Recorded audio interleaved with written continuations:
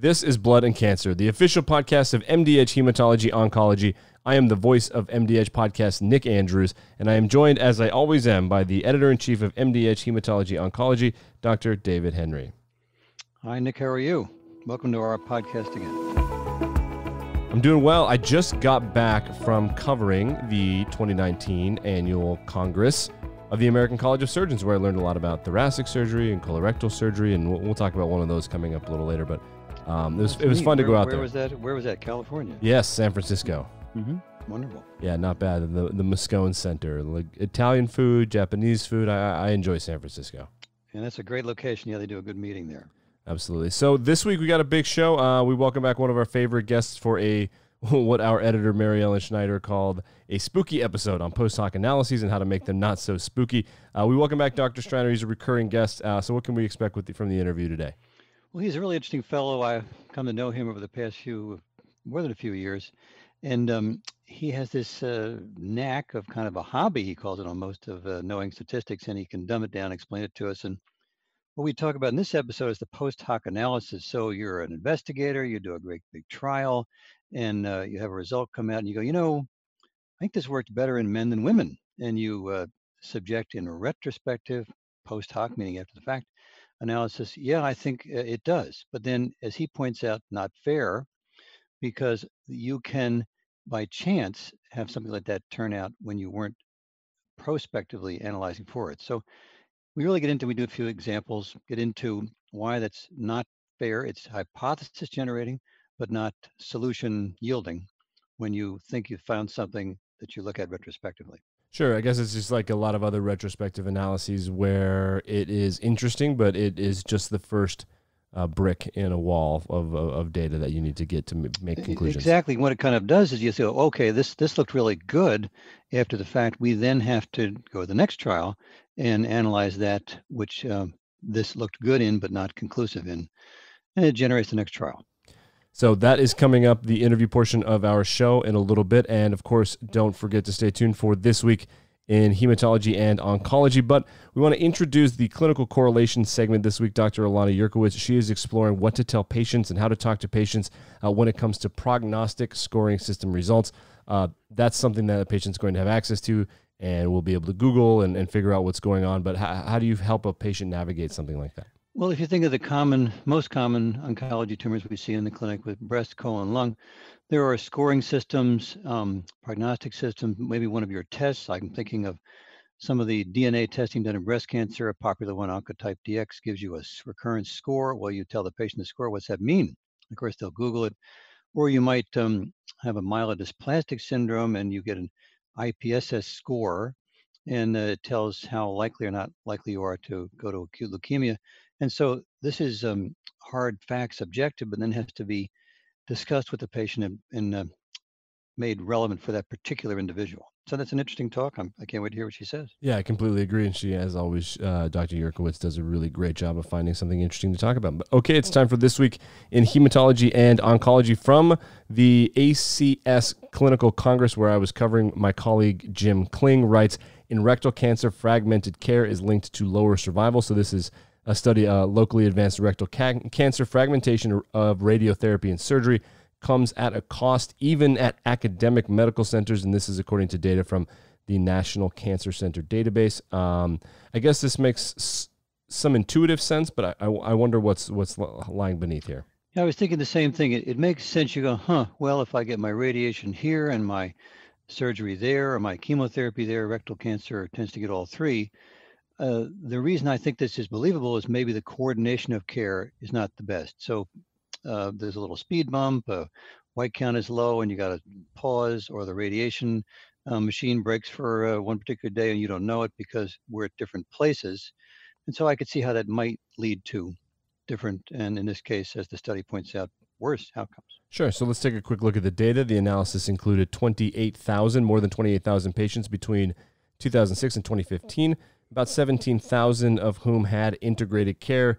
They found that uh, integrated care patients had a lower likelihood of 30 day unplanned readmission, and those with fragmented care uh, experienced higher mortality. These data were statistically significant. The hazard ratio, as Dr. Streiner would uh, explain to us, was 1.07 and it was statistically significant. What I found interesting was that fragmented care was more common in academic centers uh, compared with community centers, and that the, the researchers also found that performance of surgery at an academic center was a predictor of better survival. So it was better to have surgery at an academic center, regardless of whether the care was fragmented or integrated.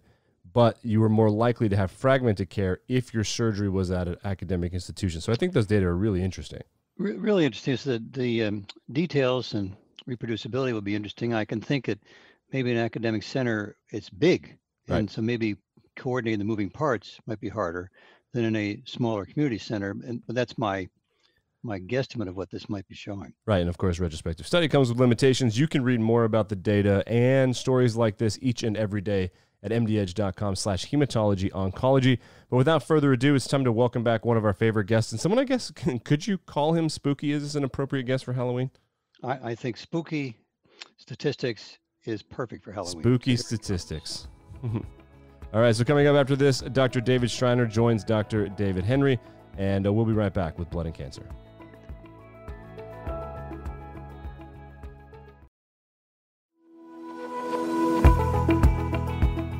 Welcome to this podcast.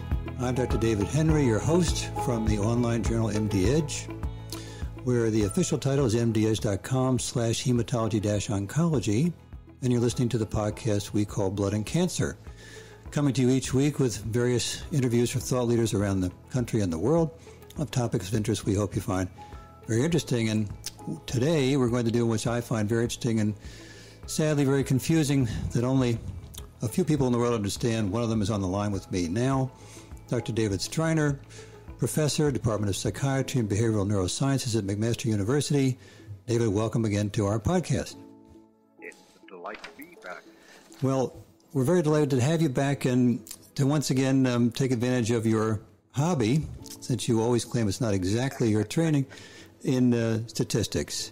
And we're going to work off a nice piece that you and Geoffrey Norman did for us a few years ago and refresh it, talking about a particular statistical issue that comes up not infrequently as we read our articles and try and learn and go forward, called the post hoc analysis. So, an after the fact analysis. And we're going to talk about two articles and what you think why this could or should or shouldn't be done. And the first one we're going to look at is obinutuzumab. This is a New England Journal article, and it came out in 2017. If those listening want to look at it, it's October 5, issue 2017. First author Marcus, and the title was Obinutuzumab for the first line treatment of follicular lymphoma. This is one of our newer CD20 engineered uh, monoclonal antibodies going against B cell lymphomas, mostly where the CD20 resides. Rituximab has been the kingpin for many years. So, this was a comparison in follicular lymphoma of a rituximab based chemotherapy versus obinutuzumab based chemotherapy. And they found the top line analysis said the median follow up of 34.5 months, and that they found there was uh, a significantly lower risk of progression, relapse, or death in the people, patients who had the obinutuzumab, the, the study arm. Now, they went on to say, well, we had a post hoc analysis, and I'll give it over to you in one second of what is that. And in that, they said, well, why don't we pause right there before I tell you what they said? They did a post hoc analysis. What is that? What does that Latin mean? In the paper, they said very explicitly what their primary analysis is. And they also said they were going to do some secondary analysis. So these were spelled out before the trial began, hopefully. Uh, in the protocol, they said what the analyses are going to uh, involve. Then once they got the data, they said, okay, we've got a lot of data.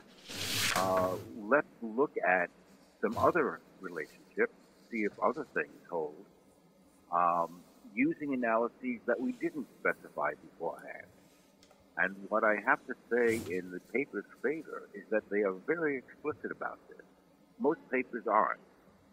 Uh, but they went to great lengths to say these are the analyses that we planned, and these are the analyses that we didn't plan ahead of time. And it's those that they didn't plan ahead of time that are called the post hoc analyses. Right. And so I'm looking then, all right, so the post hoc means, of course, after the fact. And, you know, we, I've been involved with studies where an outcome occurs and we go, wow, look at that other thing that looks like it's different. Let's make something out of that. That would be the post hoc analysis, and that, that carries risk. In this particular paper, they said um, baseline characteristics, some stratification factors of randomization were consistent with the result and showed no evidence of heterogeneity. However, it appeared stronger in the females, in the women. They gave a hazard ratio of 0.49, did not cross 1 for confidence interval versus men, where the hazard ratio that the study drug worked better than rituximab, 0.82, and the confidence interval crosses 1. So is that useful at all, or should we disregard it? It's useful not as a finding all post-hoc analyses should be treated as hypotheses uh, that should be followed up in a future study, which isn't always possible. I know these studies are very difficult to mount, very expensive, but strictly speaking, this is not uh, a primary finding. It's a hypothesis based on, uh, again, post hoc look at the data and uh, should discuss why they should be looked on with some degree of suspicion. Um, earlier in the paper, they um, on page 1334, mm-hmm. they say that they've done a total of 19 subgroup analyses, parentheses, not pre-specified. And I'm not sure whether those subgroup analyses refer to the post hoc analysis. But if they do, then if we accept the alpha level of 0.05, that we're going to find uh, findings by chance 5% of the time, then if they do 19 analyses, you expect to find one significant just by chance. And what they're reporting is one analysis that's significant. And you have to wonder, is that the one analysis that you expect to find significant by chance? Because all of the other subgroup analyses, they say, were not significant. So one out of 20, uh, using our 0.05 level, which they refer to, might in fact be the one that's chance.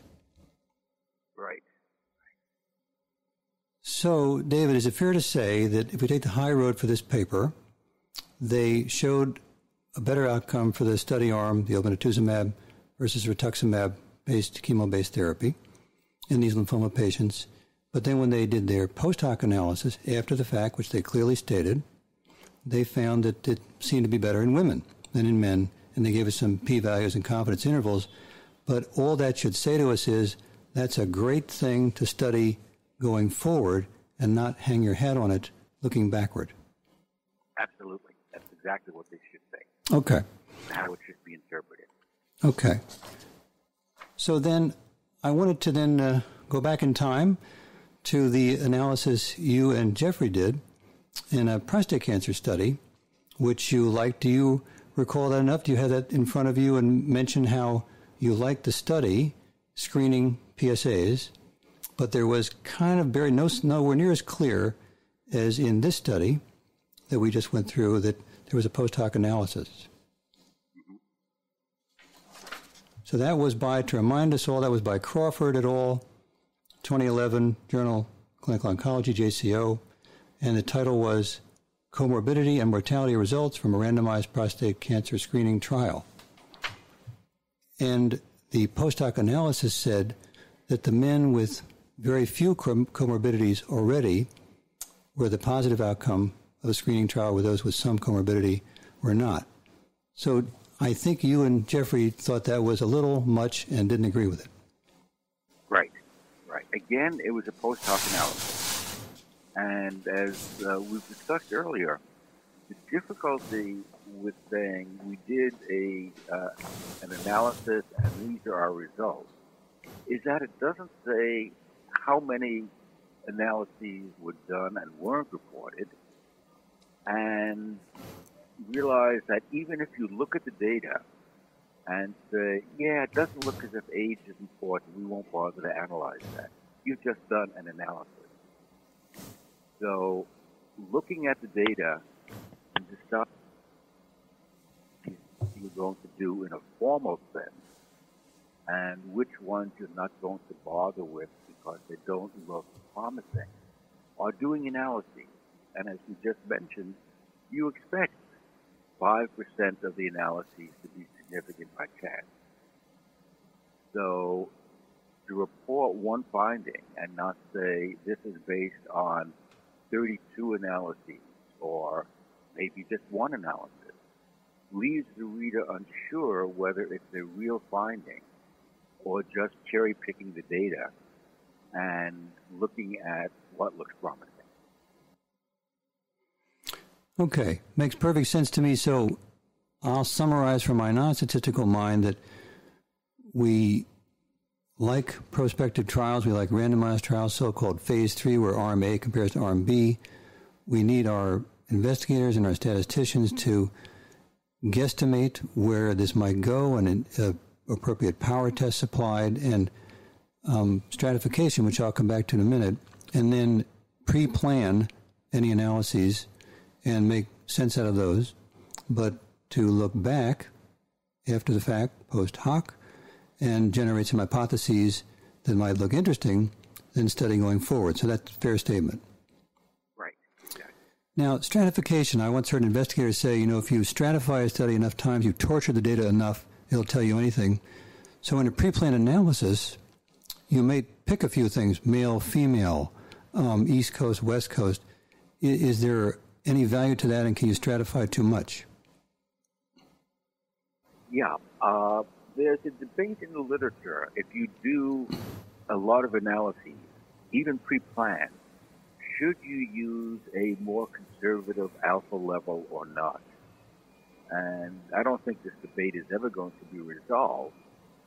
But the best advice is just choose a few primary outcomes and uh, base your primary analyses on those and treat everything else as just hypothesis generating. Uh, don't specify too many hypotheses ahead of time. You're bound to find something. Yeah, yeah, hence torturing the data. So you might say, right. we're going to choose survival, we might choose progression free survival, and we think there's a male female difference. We think there might be a, an institutional difference. So we'll stratify maybe one, two things. Of course, depending on our numbers, if it's a 10 patient study, it's not going to work. If it's a 1,000 patient study, it might work. So that, that would work going forward with a few stratifications, post hoc analysis, simply hypothesis generating. Right, exactly. I think we've tortured the subject um, enough in, in this uh, occasional and not often enough, in my opinion, visit from you and statistics. I want to refer the readers. I mentioned the follicular lymphoma article we critiqued and we liked. And I want to refer you to something written by David Streiner and his partner in crime and statistics, Geoffrey Norman, in 2011.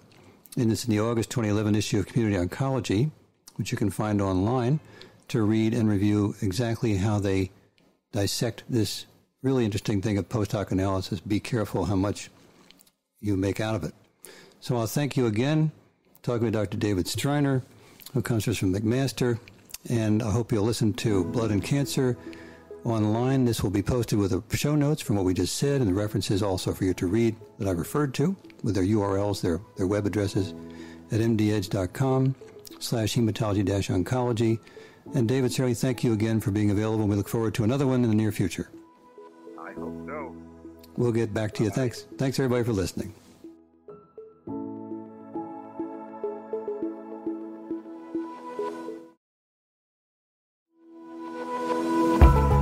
I'm Dr. Ilana Yurkiewicz, and this is Clinical Correlation, a segment about the human side of hematology and oncology care.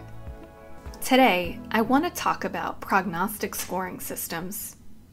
What I'm talking about are these incredible tools developed usually by physicians based on large databases we have of patient outcomes.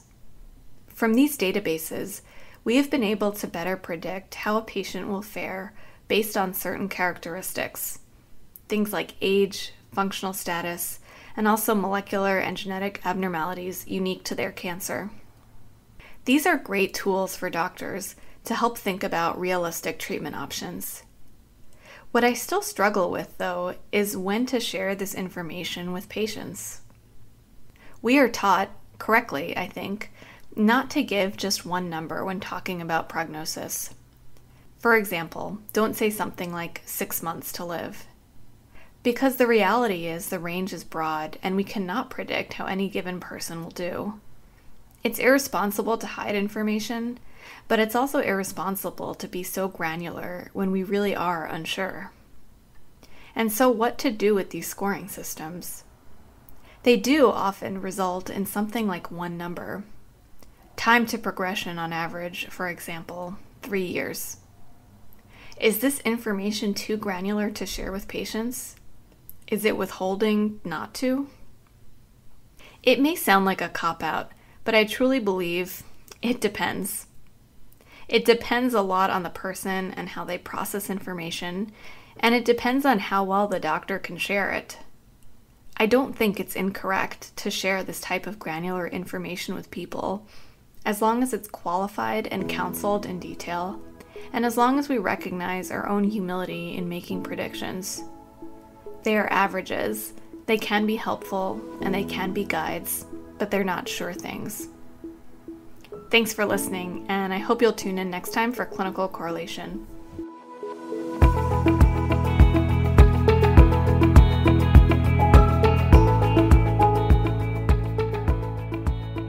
And that's a wrap on episode 42 of Blood and Cancer. It's time now for the credits. Blood and Cancer is hosted by the editor in chief of MDedge Hematology Oncology, Dr. David Henry. The clinical correlation segment is written, recorded, and produced by Dr. Ilana Yurkiewicz. Blood and Cancer is produced by editor Mary Ellen Schneider. All of MDedge podcasts are produced by executive editors Denise Fulton and Kathy Scarbeck, MDedge multimedia editor Terry Rudd. Our social media is produced by Kyla Clark, and I am your audio editor, audio engineer, and the voice of MDedge podcasts, Nick Andrews. Thanks for joining us for episode 42 of Blood and Cancer.